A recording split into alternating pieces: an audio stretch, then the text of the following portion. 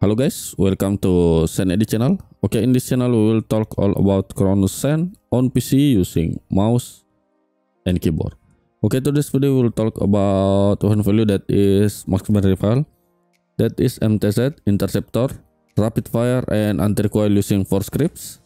They are sorry, Modern Warfare 3 Beam, Taylor Reef, Modern Warfare 3 Lite version 102, Scottish Tryhard 6.0 version 102 and last one Project Orion version 103 okay but before we are going into the video please give like subscribe and turn on bell notification so when upload new video will get notified. Okay in this channel we upload video all about Chronos okay without further ado let's start the video. Okay now we are in the video for start. Look at the screen. This is for setup the script okay Open your Studio, go to the Programmer tab. This is just for the script number one. Click this number icon on Modern Warfare 3 Beam. Okay. Remember in this settings, remember set SM as your in-game controller.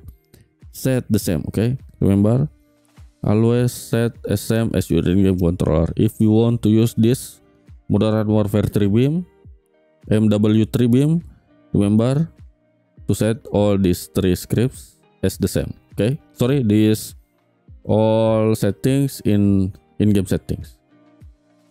Okay now you can close it. This is just for the mw3 beam scripts okay? After all done remember to click this program device button to save all your scripts and setting to your send device. After all done and successfully saved you can unplug this set usb okay? And then i will show you these four scripts I'm the recoil value in this four scripts in the firing range.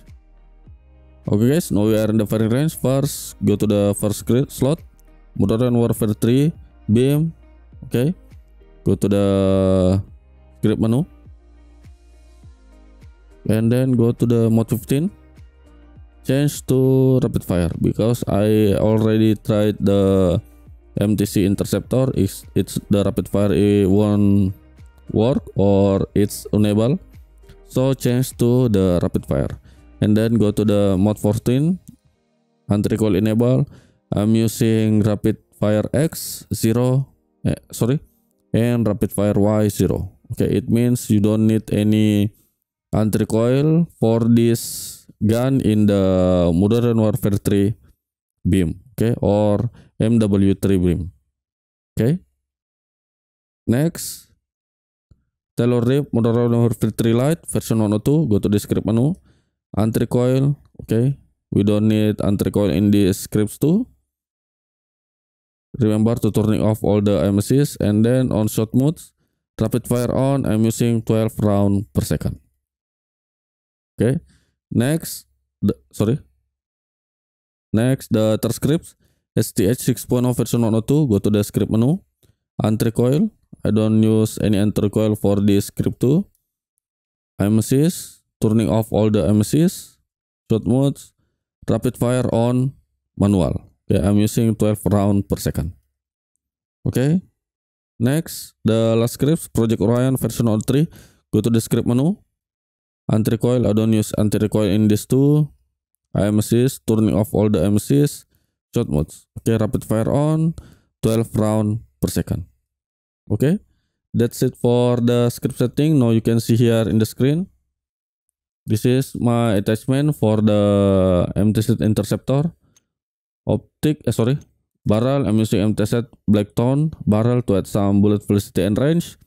Plus aiming idle sway muzzle I'm using VT7 Spitfire suppressor L. I'm using this on the Polymod 2 to add some recoil control bullet velocity and damage range under barrel of course this is my favorite one FT Creeper 56 okay? To add some aiming idle sway hip accuracy and recoil control.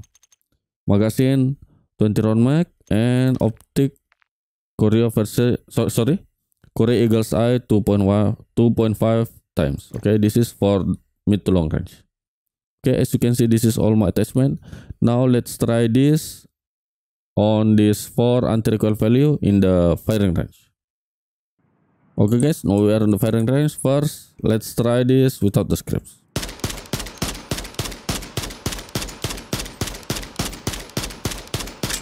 Okay, that's it. Next with MW3 beam.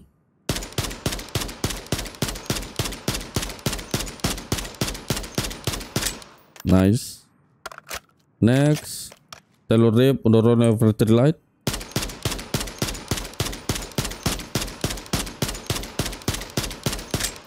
Nice next STH 6.0 version 103 102 sorry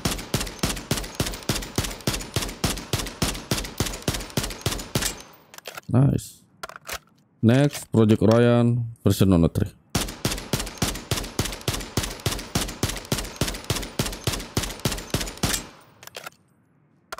Nice. Okay, as you can see here, this is without the scripts, without rapid fire and anti-recoil. This is MW3 beam. This is MW3 light, and this is STH, and this is Project Ryan as you can see this four scripts is really good for this gun okay? But I prefer using these three tailor rip scripts because it's really simple okay? And you can use this. And you can use this drive mode enable okay that means when you are using the drive mode enable the rapid fire is disabled okay? Okay I think all for this video. Okay for this gun. If you have any question please ask in comment section and don't forget to give like and subscribe to the channel. And in the end of this video i will give you some clips using this gun. Okay? MTZ interceptor with STH 6.0 version 102 thanks for watching and see you the next video